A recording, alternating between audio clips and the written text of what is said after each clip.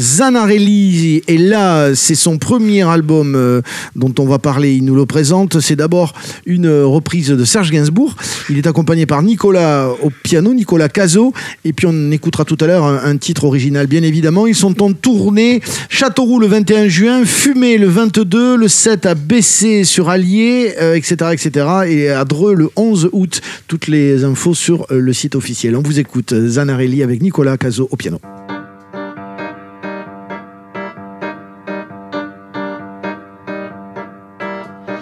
Suis le poinçonneur des lilas, gars qu'on croise et qu'on regarde pas. Y a pas de soleil sous la terre, drôle de croisière. Pour tuer l'ennui, j'ai dans ma veste des extraits du Reader Digest.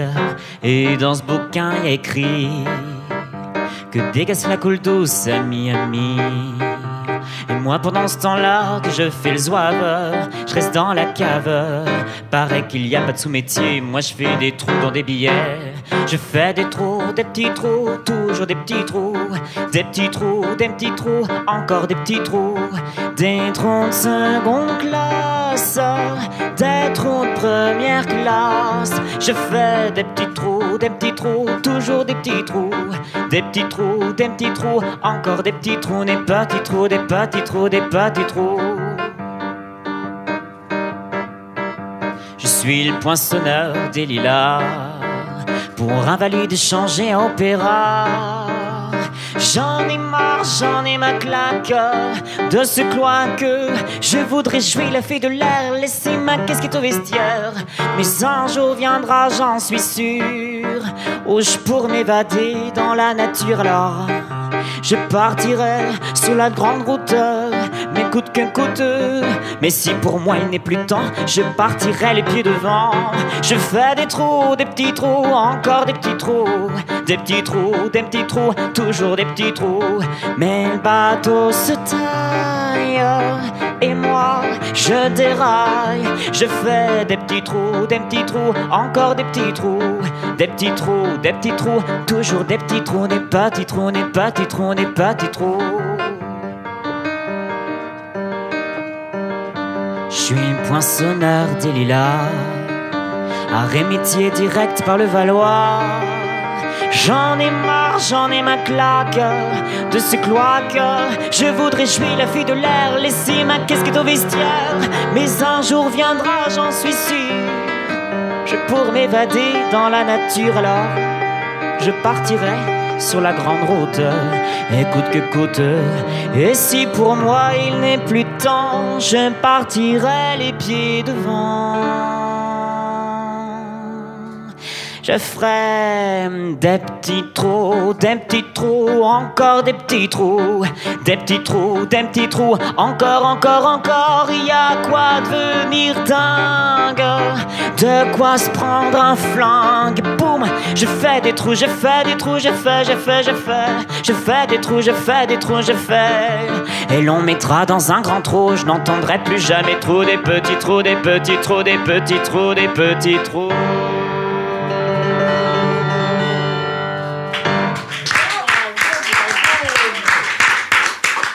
Merci messieurs, merci jeunes gens, Olivier, Nicolas Cazot pour cette reprise euh, de Serge Gainsbourg, le poinçonneur des lilas. Bonsoir à vous, merci d'être là. Bonsoir.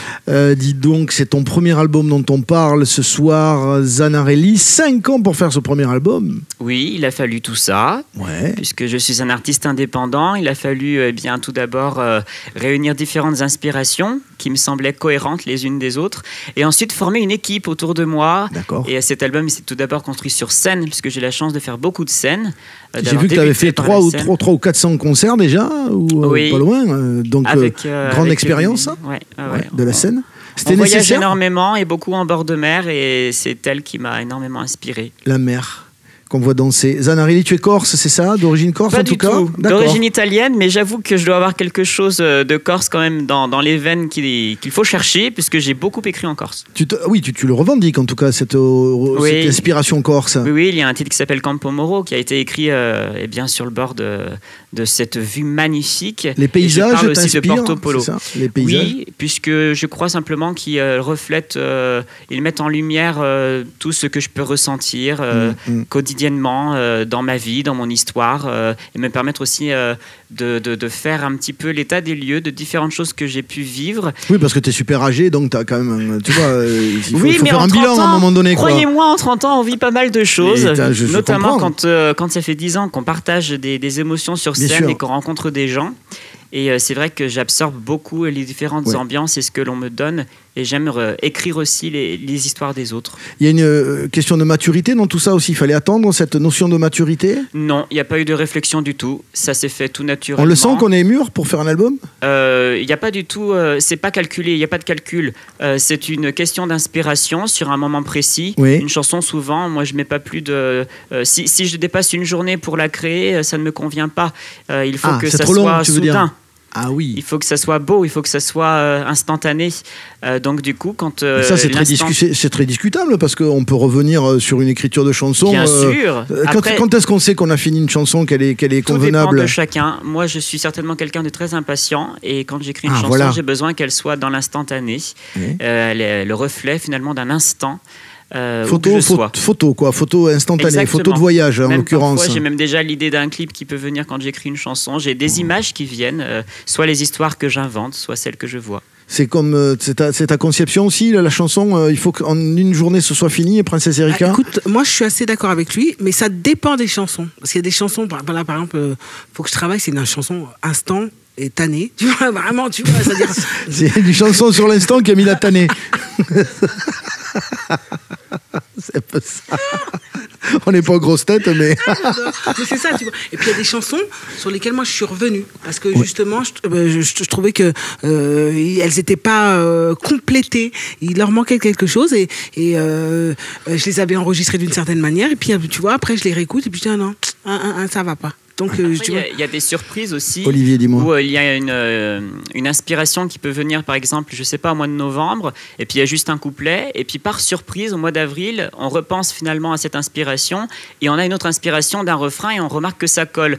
Et là, du coup, c'est comme un puzzle que l'on forme avec différentes pièces, et là, c'est la surprise. Mais j'aime pas quand c'est calculé ou réfléchi, finalement. Ah c'est je reste dans l'instantané, et je crois que c'est simplement fidèle à mon caractère. Eh ben, parfait. C'est aussi une question peut-être de, de- de caractère. euh, certains, certaines personnes aiment bien tisser un petit peu euh, certaines histoires au fur et à mesure des jours.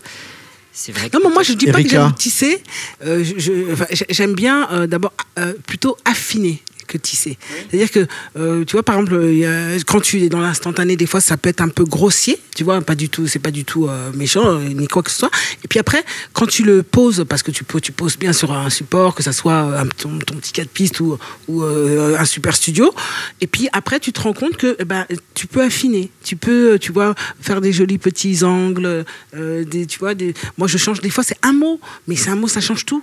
Bah, bah, moi, c'est comme ça que. Mais effectivement, il y a des chansons qui restent telles quelles. Par exemple, tu vois, des- voilà, il y a- comme je dis, il faut que je travaille, c'est une chanson telle quelle. En plus, Je suis pas une sainte aussi. que Olivier. Les gens auraient tendance à ressentir ce genre de choses, euh, que dans l'instantané, finalement, tout, tout est plus beau, tout est plus accessible.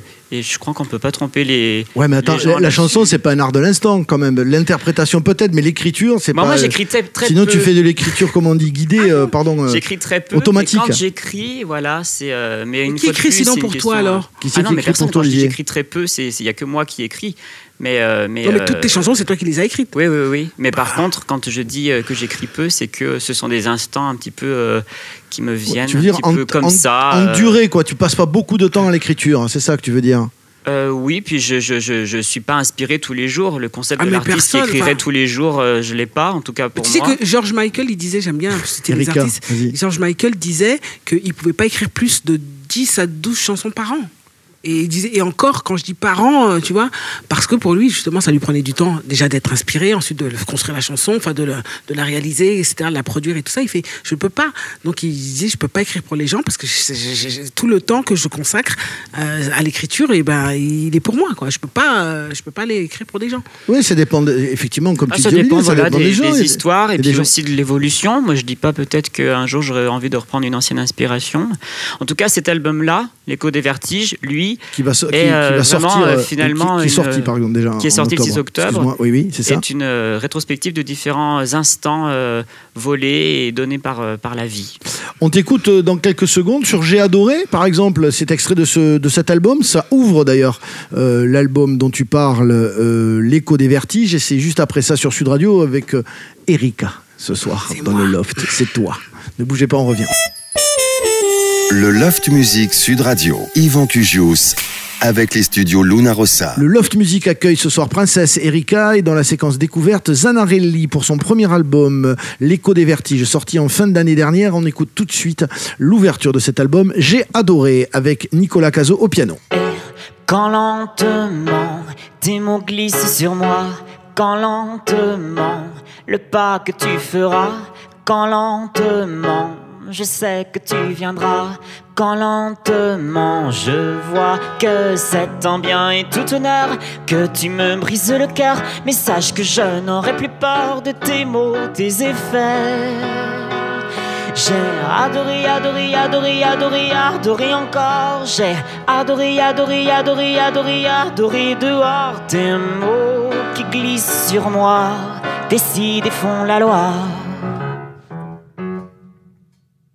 Et quand lentement l'amour que j'ai pour toi, quand lentement se transforme en dégâts, quand lentement tu ne le verras pas, quand lentement je vois que c'est en bien et tout honneur que tu me griffes le cœur, mais sache que je ne serai plus sous tes draps la peau nue. J'ai adoré, adoré, adoré, adoré, adoré encore. J'ai adoré, adoré, adoré, adoré, adoré dehors tes mots qui glissent sur moi, décident font la loi. J'ai adoré, adoré, adoré, adoré, adoré encore. J'ai adoré, adoré, adoré, adoré, adoré. Je mords tes mots qui glissent sur moi, décident font la loi. J'ai perdu le sens des mots silences. J'ai perdu, je cherche en vain vers ta main qui ne tente rien, n'a rien à la fin, à la fin. J'ai adoré, adoré, adoré, adoré, adoré encore. J'ai adoré, adoré, adoré, adoré, adoré dehors tes mots qui glissent sur moi, décident et font la loi. J'ai adoré, adoré, adoré, adoré, adoré encore. J'ai adoré, adoré, adoré, adoré. Attention, moi, je mords tes mots qui glissent sur moi, ne seront plus pour moi. Ne seront plus pour moi. Ne seront plus pour moi. Il s'appelle Zanarelli, c'est le premier album euh, intitulé L'écho des vertiges dont il nous parle et euh, dont on écoute euh, à l'instant, dont on vient d'écouter l'entrée. J'ai adoré, titre efficace mon cher ami. Qui est arrivé quand ce titre Ça a été un des premiers à écrire que tu as écrit Et non, ça a été l'un des derniers. On était déjà en studio et, euh, et on avait fini toutes les pré-productions des autres morceaux. Et euh, le train m'a inspiré. Alors pour le coup, le paysage qui défile euh, sous ma vue m'a inspiré. Et euh, cette chanson est née encore d'un instant. Décidément, c'est ça le rapport à l'instant. Tu devrais en faire une chanson, hein. moi je te le, je te le Ben, dis de suite. peut-être, quoi. oui. oui, Et oui. quelles sont tes influences dans la chanson française? Je dirais que adolescent, j'écoutais beaucoup de, de variétés, mais vraiment très très variétés. C'est quoi la variété, très très variété? Faut- moi, j'ai commencé beaucoup en faisant des, des- Je me suis retrouvé dans un réseau de concours de chant adolescents où je, je chantais beaucoup de Michel Sardou, de, Ah, de. Céline Dion, ou de Aïe, Chimène Badi. Oh là là là, mince, Et j'adorais, désolé, j'adorais en fait euh, utiliser une certaine puissance vocale euh, que j'avais pas forcément. Et euh, avec l'expérience, on se rend compte finalement de nos limites. Et euh, j'en avais assez aussi de chanter les chansons des autres. Oui. Et un jour, je, je, j'ai chantais quoi que de Michel. Sardou par exemple? Euh, bah, C'était une chanson qui s'appelle Loin, qui était sur un de ses derniers albums euh, un D'accord, peu plus récents dans les années 2000. D'accord. Et, euh, et puis mes influences, je dirais aujourd'hui, euh, celui pour qui j'ai une affection particulière, c'est euh, Hubert Félix de TFN. Oui, ah oui. Voilà, que je. Voilà, tu remontes dans mon estime. Ah oui, oui, carrément. Hubert que lui, Félix Stéphane. plutôt, euh, Pourquoi deux et euh, la- la- Qu'est-ce que tu aimes bien, par exemple, de lui? Mais je trouve que son dernier album est sublime. Moi, j'aime bien quand euh, des guitares euh, un petit peu dissonantes euh, viennent euh, apporter beaucoup de, de vapeur à la chanson. Ouais. Non, mais lui, il, est, il est génial. Il est absolument. Oui, enfin, puis- moi, je connais. C'est pas très bien. Et c'est mon homme aussi qui m'a fait connaître et tout ça. Ouais. Donc, euh, Moi, j'aime bien parce qu'on ressent en fait que ça vient, ça vient puis du. Ouais, c'est organique en fait. Absolument. C'est organique. Et puis surtout une carrière euh, à la fois aussi discrète que grandiose, puisque Que, ouais. il- un public euh, énorme qui, euh, qui Sans, le sans- suit sans passer à la radio, Sans sans, passer- sans, ouais. sans pub, euh, Voilà. en faisant beaucoup de concerts, comme toi, quoi. Nous, on l'aime beaucoup, euh, Tiefen. Il vient quand il veut. Oui, c'est ça. C'est le circuit des concerts qui euh, Bah, permet c'est ces finalement carrières-là. le plus agréable hein, de On pouvoir vivre encore des instants avec les gens. Et puis surtout de, de jamais faire la même chose, parce que quand on est en acoustique, c'est finalement l'opportunité de ne pas être fixé dans, dans un cadre. Et quand tu fais des concerts, c'est quoi ta formation? On peut être en piano-voix, guitare, violon, en piano-voix, guitare, en piano-voix. Souvent, bien entendu, c'est en piano-voix. Ouais. Aujourd'hui, c'est Nicolas qui m'accompagne pour la première fois, Ah, c'est si on peut le dire. c'est la première fois, Nicolas, et que tu oui, joues avec Olivier. j'ai j'ai un pianiste auvergnat qui m'accompagne Ah, depuis 9 ans. Et, et toi, tu viens d'où, Nicolas, toi? Alors, euh, moi, je viens de, du sud-ouest. Ah, ça, c'est une qualité, fallait le dire tout de Voilà, suite, c'est c'est pour ça que enfin je me suis dit. euh, je- Sud Radio que- Sud, Sud Radio, ça va être bien. Mais bien de sûr, d'où du sud-ouest tu viens De Pau. De Pau Ah, Ah, Pau, par contre, même je... de Monin, précisément, à Je côté de. Pau. Je déconne, on a- j'adore les palois. Et c'est une qualité. Donc, c'est un mec qui joue bien, a priori, s'il est de Pau. Déjà, du Voilà. sud-ouest, il joue bien. Ouais, de base, Ouais, euh, ouais. On est ravis de vous accueillir en tout cas. Merci. Erika, euh, voilà, c'est c'est un début. de- Alors, est-ce que, est que tu penses qu'aujourd'hui c'est plus difficile euh, de démarrer euh, une carrière comme ça et que c'est euh, Bah écoute, peut-être plus galère qu'à ton époque à toi? Alors à mon époque, je dirais à mon époque, euh, C'est-à-dire hier. des années 80, tout À ça, l'époque des quatre pistes, parce que tout à l'heure tu as cité les quatre pistes, c'est que maintenant les quatre ça pistes. n'existe plus. voilà. Et euh, non, mais je disais, c'était, c'était pas plus facile, mais je dirais que c'était plus ouvert. Euh, et puis tu avais plein de médias, etc., qui passaient tout. Tu vois, il y avait une diversité, je dirais. Alors que maintenant, si tu écoutes les radios, tu as 20, 30 titres qui passent, c'est toujours les mêmes. Tu te changes de radio, tu entends les mêmes choses. Et toi, c'est très, très. euh, voilà. Et après. Sauf euh, sur Sud Radio, je suis obligé de te le dire, euh, parce que dans le Loft Music, on a toutes les sortes de musique qui viennent. Mais je, bien sûr, je sais que tu es quelqu'un à part. Ah, merci Erika. Ouf, Mais, c'est vrai que, alors du coup, le choix se fait ailleurs, tu vois, sur les, les, les plateformes de streaming, etc. etc. et donc, tu, tu peux mettre ta musique, mais tu n'es pas forcément visible, hein, parce qu'il y a- beaucoup de gens c'est un océan de choses. Et du coup, je pense que ça doit être un petit peu plus déprimant euh, de d'être noyé comme ça dans la masse, alors qu'avant, tu avais quand même avais de, la, de la possibilité de, de, de- Oui. tu vois, de, de- voilà. Moi, je me rappelle, on faisait des tournées, euh, euh, justement, qui s'appelait Génération 90, avec euh, plein d'artistes très différents. Enfin, il y avait de tout, quoi. Et, euh, et tout le monde avait un peu, quand même, pouvait trouver sa place. T'es pas Mais lui, déprimé, là où, il a, là où il a de la chance, c'est qu'il fait de la scène. T'es pas déprimé, Olivier? Non, mais il y a des avantages et des inconvénients à tout. Euh, cette époque, je, je, je l'aperçois bien, je comprends tout à fait. Après, moi, je suis un artiste, disons, d'Internet. L'album était coproduit par des internautes sur une plateforme indépendante. D'accord, d'accord. Mais vraiment une plateforme indépendante. D'accord. Du coup, le défi, c'était de réunir en fait des gens assez euh, nombreux pour pouvoir financer ce projet. Parce qu'il y a quand même euh, une économie derrière un album, on peut pas l'occulter, surtout quand on est indépendant. Et, euh, et donc, du coup, l'objectif était, de, euh, lors des concerts, de donner envie aux gens de nous retrouver sur Internet, un lieu de rendez-vous Mmh. où ils se réunissent. Et euh, finalement, on a tout un groupe, même autour de nous, qui nous suit de concert en Super, concert super, et, super. et T'as qui a un petit réseau. C'est ça qui est bien, c'est que justement, Erika, les, les- avantages dont Erika. il parle, c'est ça. C'est d'avoir, de pouvoir euh, lui- soi-même constituer son réseau, euh, sa base fan, etc. Donc ça, c'est vraiment, euh, je trouve que pour les jeunes artistes, tu as, cette indépendance euh, qui, qui- qui est vraiment... euh, Oui, oui. Mais pour quelques-uns qui réussissent, beaucoup euh, Ça, c'est galèrent. clair. Quoi. Après, euh, moi, je te propose une idée. Dans 20 ans, tu fais un plateau, tu participeras à un plateau des années 2010. Mais c'est ça le truc. C'est ça, J'ai fait ça pour la première fois une soirée années 90 euh, samedi dernier et c'est j'avoue que c'est ça qui m'a un peu déprimé parce qu'on avait l'habitude des soirées des années 70 années 80 et là on commence à faire des années 90 Eh, C'est peut-être un peu tôt pour toi. Avec pas un dress code particulier tu te dis mais t'étais habillé comment dans les années 90 t'avais 5 ans en fait Mais pourquoi, Mais pourquoi ça t'a déprimé J'ai pas Bah compris. parce que C'est proche. moi, moi j'ai l'habitude d'entendre allez on fait une soirée années 70 80 qui est quand même très très très très euh, typée dans le genre et j'avoue ne- n'avoir pas trop su quel était le genre dans Ah, les des années années 90 90, oui, oui, je que ça soit vestimentaire ou Oui, autre ça c'est vrai, j'ai pas moi non plus. Moi, je suis euh, d'accord avec ça aussi. Hein.